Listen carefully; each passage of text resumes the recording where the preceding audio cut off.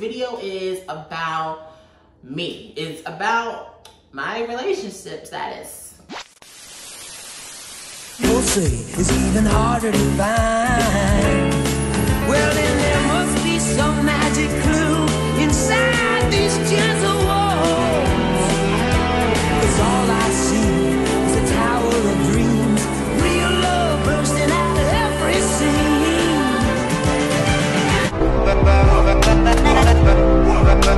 la la la la la. la la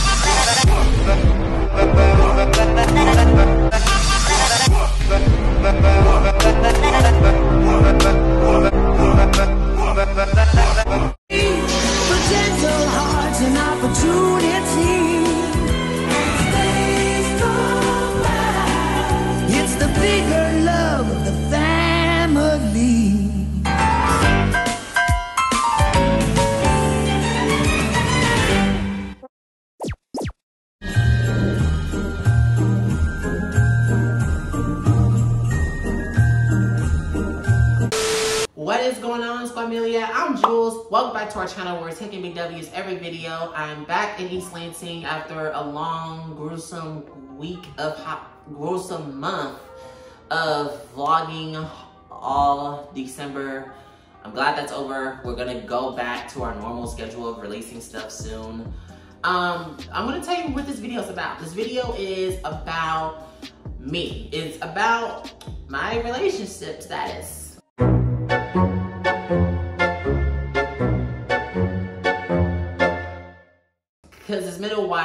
Updated anybody on my relationship status and what it is and all that other stuff. I'm gonna clear a bunch of rumors. I'm gonna explain the top five reasons why I think I'm still single, and I'm just gonna wrap it up there. So we're gonna have a good time.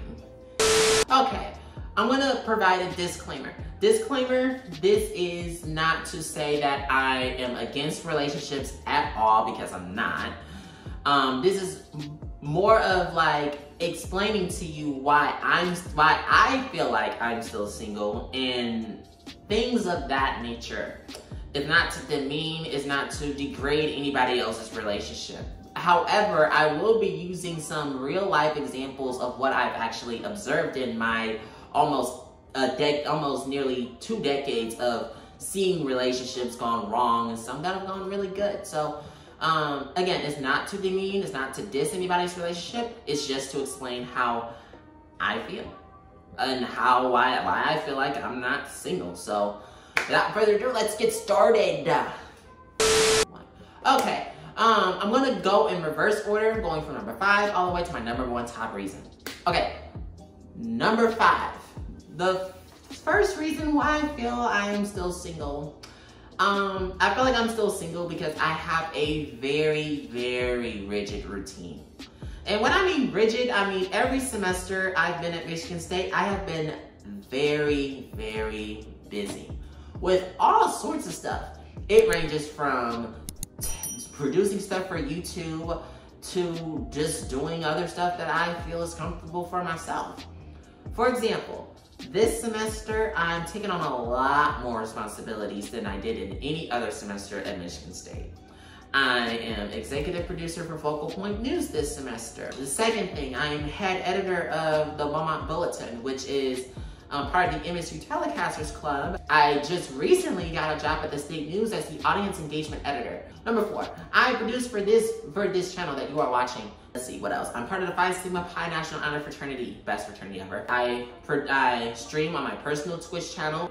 I also produce for Another Day in MSU Gaming, which is the Twitch channel that I do with my Marlon, myself, and my friend Essence. And I think I counted almost 10 things in this in this video and constantly counting. Like I'm always doing something. I never have time to go out and just go to actually go out to a bar or to a club or just anywhere in general and just meet someone new. I hang around the same people, no offense, but I hang around the same people. I hang around my family. I talk to my family a lot.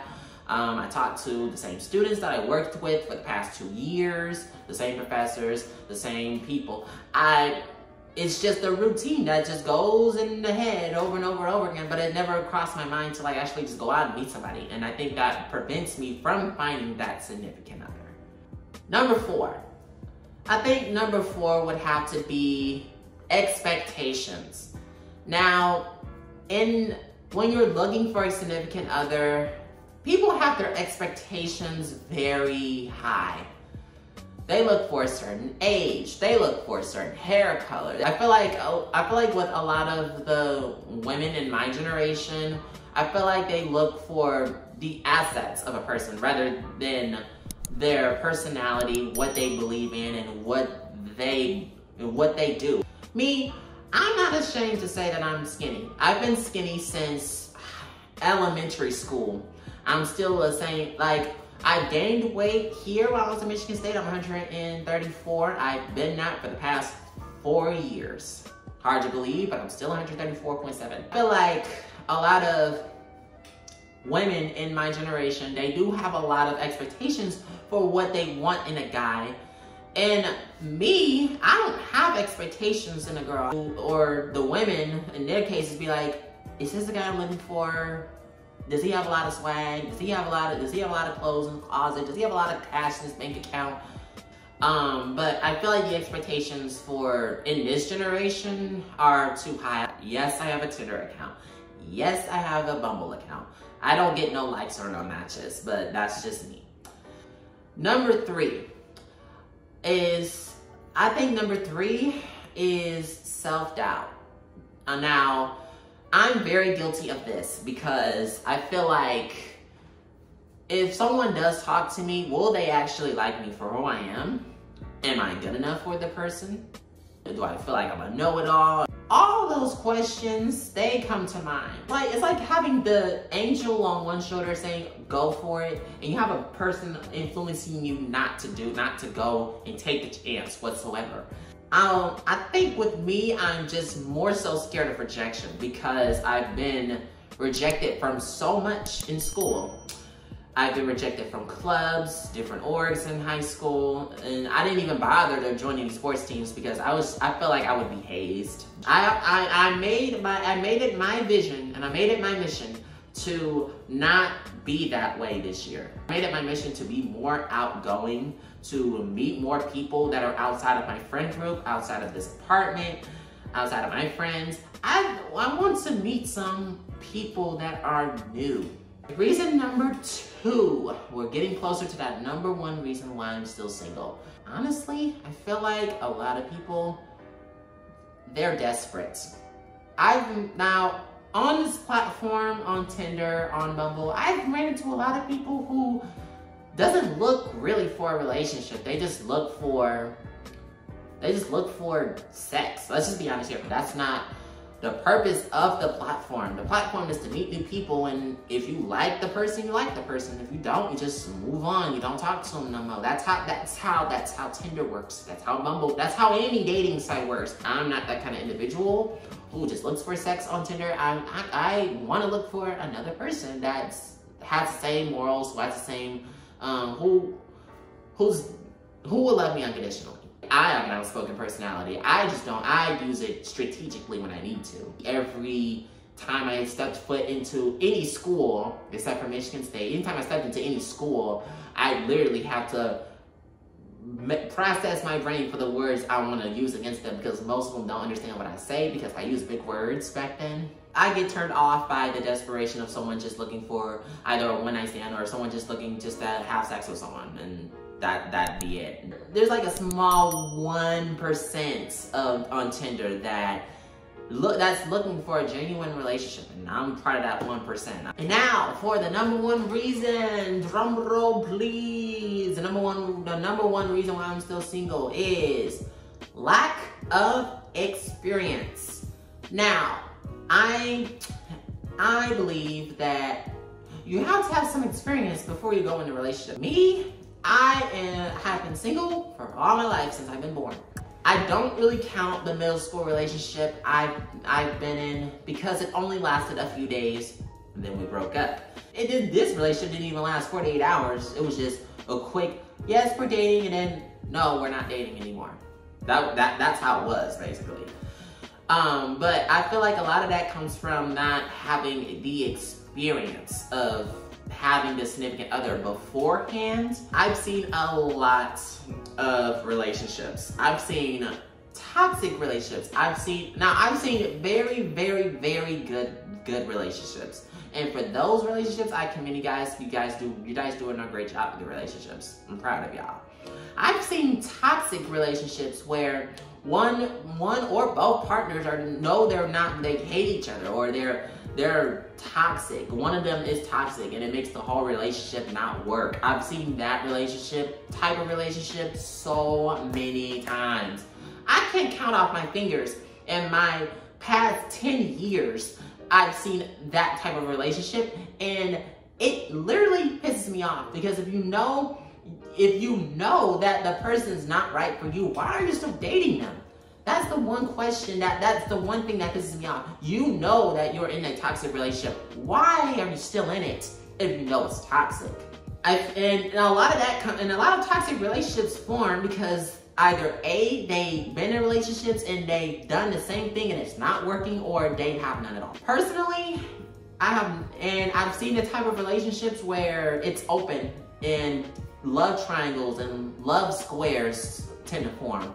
In case you don't know what those are, love triangles are a relationship between three people. Square, a square is a relationship between four people. I've seen people who, um, who in a relationship change their whole demeanor based off of this, that, and the other. I've seen so many relationships. I've seen so many of them. And I have, and I feel like I have the experience because I'm always watching these relationships. I think I know what not to do in a relationship, but I've never tested them out myself because I've never had a significant other. My sister, um, I'm not trying to shout you or anything, but my sister, she's had more experience and experience than I ever did. Starting in high school, starting, she started dating in high school. I'm not sure if my little sister does it, and my mom, of course, you know, we all know that she's been in relationships before, otherwise I wouldn't be here sitting in this chair. it's, this is not to just demean all those relationships. I'm actually proud of people who get in relationships and they last a long time. I'm actually really proud of that.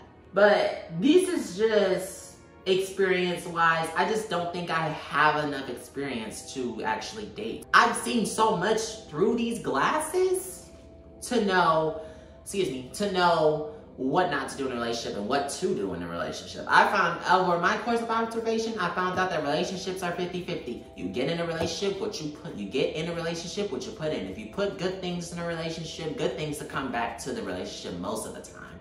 Hence, most of the time, they will come back to you. And those are the top five reasons why I'm still single. Now, I'm not saying that I that I won't be single forever, because I know that's not true. I'm pretty sure that that perfect person, that somebody that I've been waiting for, will come to me, and God will and God will send them to me.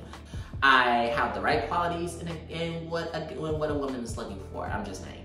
I tell bad jokes, and Marlon in Essence can clarify that for you. Um, I tell bad puns. I'm very energetic and enthusiastic, and I'm just, I'm just, I'm just hype. I'm just me.